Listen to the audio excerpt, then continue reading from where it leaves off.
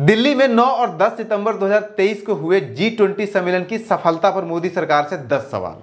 सवाल नंबर एक, सभी जी ट्वेंटी देशों के प्रतिनिधियों को महात्मा गांधी की समाधि राजघाट ले जाया गया घुमाने के लिए।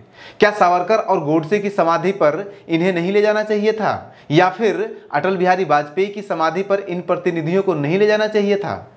देश में गोडसे और विदेश में गांधी, ये कैसी विचारधारा है?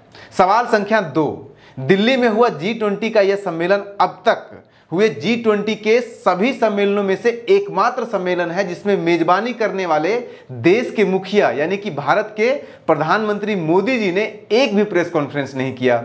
अमेरिका समेत कई अन्य के देशों के अखबारों में इस बात के लिए भारत की आलोचना हुई है। क्या यह भारत के लिए शर्मनाक नहीं है और इसकी ज़िम्मेदारी किसकी बनती है? सवाल नंबर तीन भारत के प्रधानमंत्री मोदी जी के नेम प्लेट पर भारत लिखा हुआ था।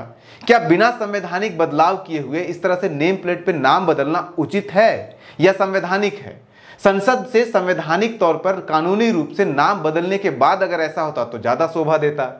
चौथा सवाल जी ट्वेंटी दिल्ली के सम्मेलन के लिए जारी किए गए लोगों का में कमल और हरे रंग का भगवा रंग का इस्तेमाल किया गया है, जो भाजपा का प्रतीक भी है। क्या जी ट्वेंटी सम्मेलन भाजपा का सम्मेलन था या फिर अंतर्राष्ट्रीय सम्मेलन था, जिसमें राष्ट्रीय पहचान और राष्ट्रीय प्रतीक, राष्ट्रीय झंडा तिरंगा का इस्तेमाल होना चाहिए था? पांचवा सवाल, सम्मेलन के रात्रि भोज में सोने चांदी के बर्तन में भोजन परोसना क्या लोकतंत्र की निशानी है, या फिर राजतंत्र की निशानी है, या फिर सद्दाम हुसैन जैसे तानाशाह की निशानी है, जिसकी कुर्सी में भी सोने और चांदी जड़े हुए थे? अगर खाने के बर्तन पर अशोक चिन्ह हो सकता है तो खाने के टेबल पर क्या टेबल के कवर के रूप में सामान्य कपड़े की जगह तिरंगा का भी इस्तेमाल किया जा सकता था?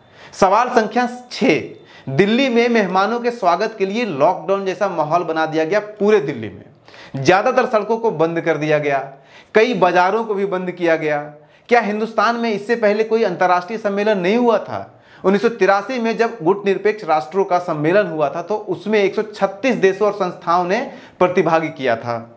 जी ट्वेंटी में तो मात्र 18 देशों और संस्थाओं ने भाग लिया है। फिर भी इतना हालत अस्त व्यस्त क्यों हो गया?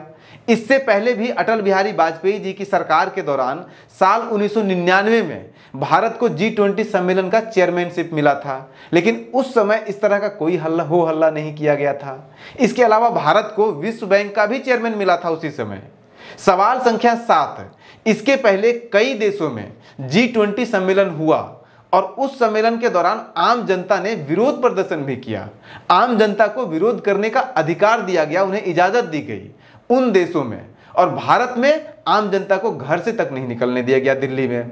2009 में लंदन में हुए जी ट्वेंटी सम्मेलन के दौरान हुए विरोध प्रदर्शन में एक व्यक्ति की मृत्यु तक हो गई थी और कनाडा में 2010 में हुए जी ट्वेंटी के सम्मेलन के दौरान लोगों ने पुलिस के वाहनों तक को जला दिया प्रदर्शन के दौरान। इसी तरह से विरोध प्रदर्शन 2017 में इटली में भी हुआ 2018 में बुनोस एरिज में भी हुआ और 2019 में फ्रांस में हुए जी ट्वेंटी सम्मेलन के दौरान भी हुआ था।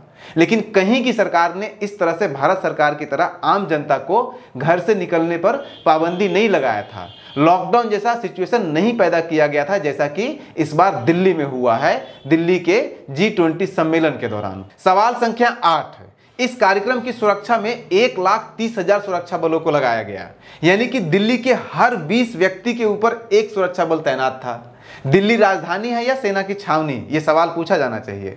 सवाल संख्या नौ। रूस और चीन भी जी ट्वेंटी देशों का सदस्य है, लेकिन दोनों देशों ने दिल्ली में हुए सम्मेलन में हिस्सा लेने से इनकार कर दिया।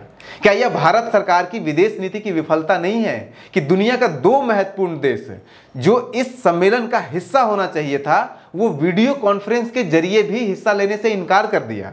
दसवां और आखिरी सवाल, अगला जी ट्वेंटी ब्राज़ील में होने वाला है। ब्राज़ील में कम्युनिस्ट की सरकार है। मोदी जी ने खुद अपने हाथों से एक कम्युनिस्ट राष्ट्रपति के हाथों में जी ट्वेंटी सम्मेलन की मेजबानी प्रतीक सौंपी है। क्या एक कम्युनिस्ट राष्ट्रपति को जी ट्वेंटी सम्मेलन की मेजबानी सौंपते हुए मोदी जी का हाथ नहीं काँप रहा था?